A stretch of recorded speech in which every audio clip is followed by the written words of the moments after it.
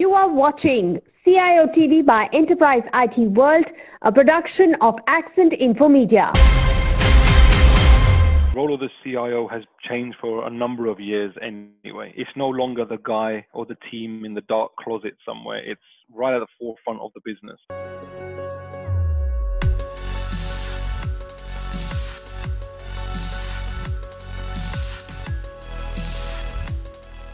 Okay, very quickly, if you can introduce uh, your infrastructure that you are uh, handling, uh, uh what are the challenges that you had lockdown period? Although your company was not to that extent affected by the lockdown.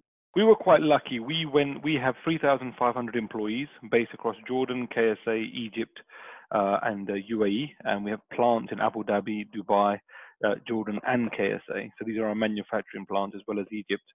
Um, we went live with uh, Office 365 and the entire Microsoft suite in on January the 1st, 2020. Uh, all of our users now use the complete Microsoft Cloud solution. They are all um, using that brilliantly. Uh, thank God we went on that solution because otherwise it would be very difficult for us to, to work remotely. The use of Microsoft Teams within our organization has increased by 200% because now people are working at home, they start to use that. Um, so that's our Office Productivity Suite. Um, at the same time, we also launched something called Yammer from Microsoft, which is their internal social media, and that allowed us to do events, games, uh, business updates, etc., etc. So from an Office Productivity Suite, we are completely Microsoft, and thank God we went live on January the 1st. In addition, we are went live with the Oracle Cloud Suite, uh, specifically around uh, HR processes. Uh, and we moved a lot of our platforms to the cloud on the Oracle side. So again, thank God we moved to the cloud early. January the 1st, we went live. And also, just to add to the chaos, we also went live with our um, what we call Sales uh, Force automation tool on January the 1st. So basically, all of our sales personnel who go around to retail stores, hotels, restaurants, they all have this mobile device, mobile device in their hands, and they go around and capture orders using that technology. So to answer your question, we are so thankful that we went to the cloud on January the 1st. Otherwise, like some other companies we hear about, they struggle with their technology, but thank God we, we went to the cloud. So it means when you are saying that you have got Microsoft Cloud, you have got Oracle Clouds, also you, you have uh, Salesforce uh, Automation Cloud. So you are handling at a time three clouds. So you are into multiple cloud situation, isn't it? So uh, yes, do we you have your, clouds. yeah. So my question is, do you have your inner in-house resources that you are, you are managing, or uh, it's outsourced uh, to a third party? How are you managing the multi-cloud situation, which is pretty difficult, you know, while while uh, uh, talking to each other. Uh, you know, there are three three sets of uh, rules, three sets of uh, uh, you know devices, three sets of everything. Great question. so one of the first things that we done probably August last year was restructure our entire team. So we first thing we done before we migrate to cloud is ensure that we have the right skills in house and that would that required some restructuring. Just being honest, you know, new skills, new new platforms, but also we kept uh, a lot of the team here, and we started to reskill them in the new world. We also brought in new people who are specialized in this area. So we brought in a Hyperion specialist as an example, who's got cloud experience, and we brought in some new resources who understand the new way of working. Um, so yeah, we manage three three different clouds. Yep, we do that. It's not easy.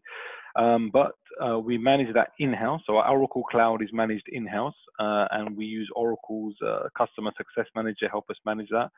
We manage Salesforce in-house as well, and we manage a Microsoft in-house. Now the good thing is we have very, very good relationships with our partners. Uh, that's the key. If you have good relationship with your partners, they will go the extra mile to help you. And touch wood, thank God. At the moment, they're doing a, a, very good job in making sure that we are always up to date on our cloud uh, protocols and security, etc. Okay, Mr. Yahyah, if you look at this is this situation, the COVID particularly has has uh, uh you know brought in lots of chaos, uh, uh, not only from the healthcare uh, point of view, but from the security point of view also. Uh, floods of you know attacks, um, ransomware, everything is every day you will hear about it that some or other organization getting getting affected. Even large names have been a victim of ransomware and uh, it is continuing till now. uh, how are you being a head of uh, IT division? How are you uh, managing, monitoring the security aspect, uh, given the situation that some of your workforce is working from home? Uh, again, uh, again, it's a cliche, but we went live on January the 1st with completely new infrastructure. That's both for remote working and office working. So we updated all of our security software as well. We went live with Office productivity, but we also went live with Microsoft's E5 security layer. So all of the executive team here at Fine, we all have military grade security.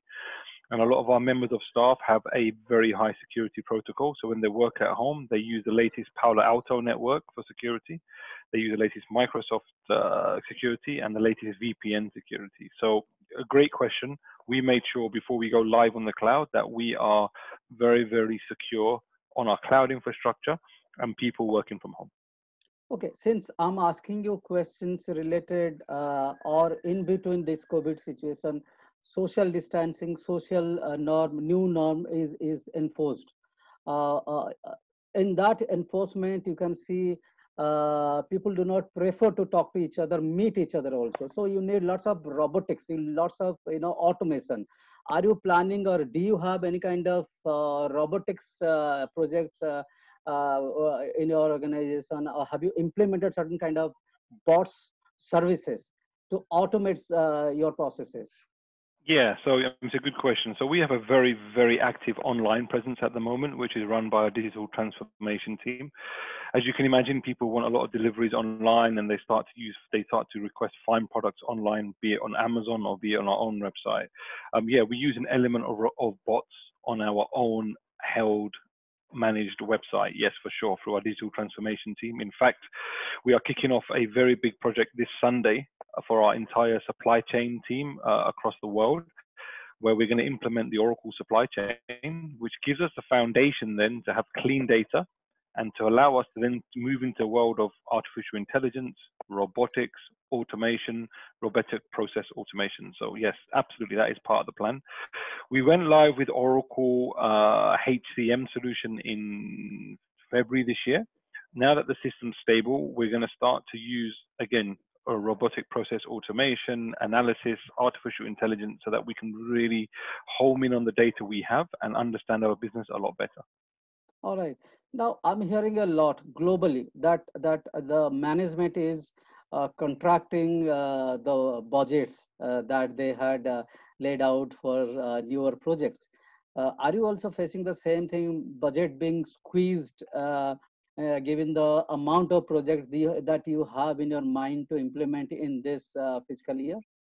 Uh, we, I, uh, I have a great CEO who understands technology. We have a great board and a chairman who understands technology. And to answer your question, they've actually increased my budget. What we've all realized post Corona is without technology, you can't move forward. And if you haven't invested in technology, you need to invest quickly. Uh, because this is the this is now. This is no longer the conversation about the future. This is now. So, yeah, I'm very fortunate. I'm in a very fortunate position. I have a CEO and a CFO that uh, understands technology as well as a board, and it's driving our business forward. And without it, we can't move forward. Excellent. Uh, thanks to your CEO and CFO uh, for supporting you. Are you planning any projects? Are you planning any anything that uh, uh, for the next uh, say quarter or two quarters from now? Yep. Yeah, we kick off a big supply chain project this Sunday. At the same time, my data warehouse team is moving our data warehouse from on-premise to on-cloud, but actually they're going to use the Oracle Autonomous Data Warehouse. Brand new technology, uh, amazing what it can do. So at the moment, yeah, we're, we're moving to the Oracle Autonomous Data Warehouse, which is exciting, technically geeky talk there, but for the business will provide just amazing data. Okay. Any anything around uh, Kubernetes or container technology for quick uh, migration or quick uh, application development that you are planning to inbuilt into your system? So that's part of the long-term vision. Yes. At the moment, we've just got a clean. We have a data issue. We have so much data that hasn't been cleansed. That's not accurate. And all of this technology, container, AI, blockchain, all of this fantastic stuff, absolutely.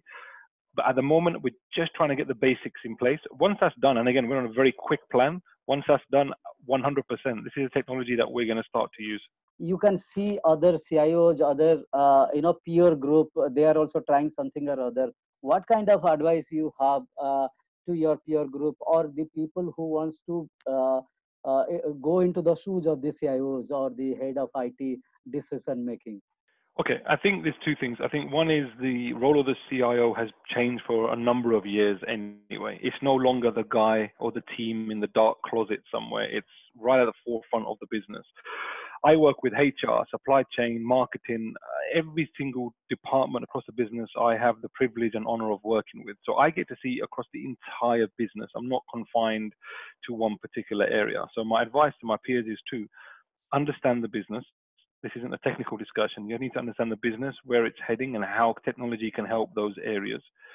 And from a technical perspective, stop wasting time. Move to the cloud quickly. Uh, it's it, it's a it's not even the future. You need to do it now. The days of servers on premise and data centers are over.